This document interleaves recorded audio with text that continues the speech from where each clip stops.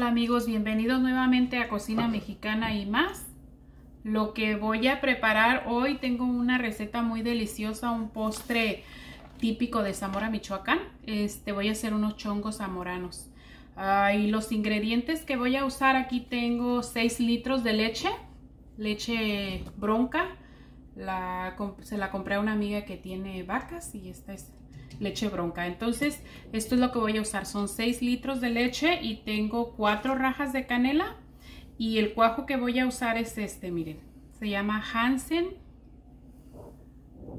Es este. Este paquetito sirve para 125 litros de leche. Entonces, lo que voy a usar es una pizquita nada más para estos 6 litros que viene siendo esto, miren.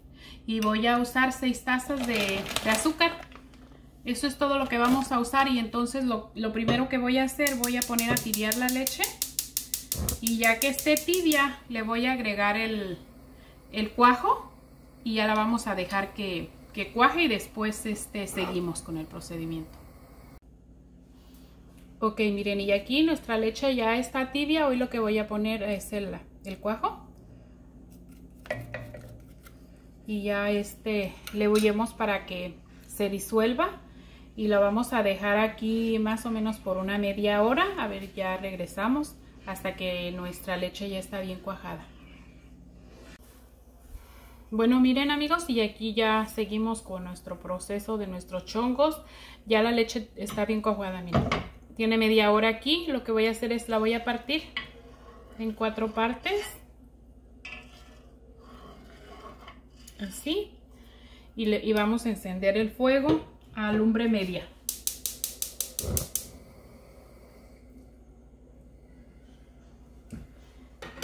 Y vamos a colocar aquí nuestra canela, las cuatro rajitas de canela.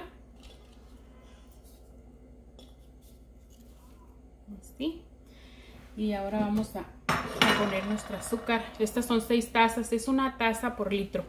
Una taza de azúcar por cada litro de leche y como son 6 litros, entonces son este 6 tazas de leche y aquí lo vamos a dejar hervir aproximadamente por 4 horas. Esto dura, dura bastantito tiempo hasta que ya se empieza a caramelizar el azúcar.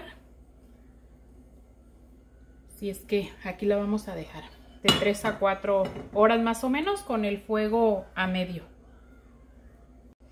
Así como ven, así la vamos a dejar. Esto no se tiene que mover para nada. Para nada. Hasta que ya estén, entonces sí podemos ya nada más.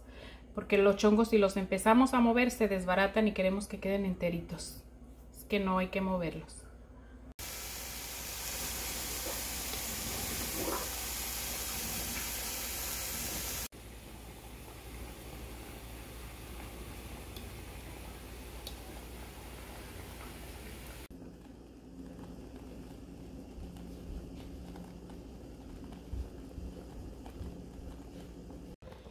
Miren y así va el proceso de nuestros chongos. Yo no los he movido para nada. Como pueden ver están enteritos. Tienen tres horas aquí en la lumbre a fuego medio.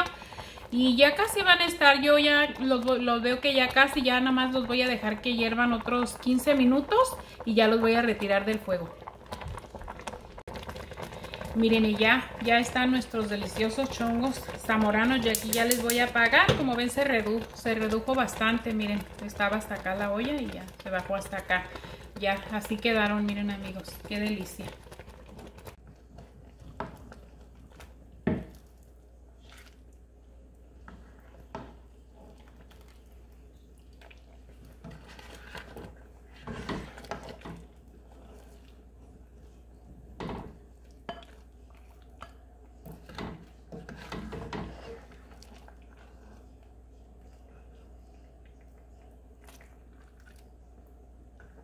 Muy bien amigos, miren pues ya aquí está nuestra delicioso chongo zamoranos.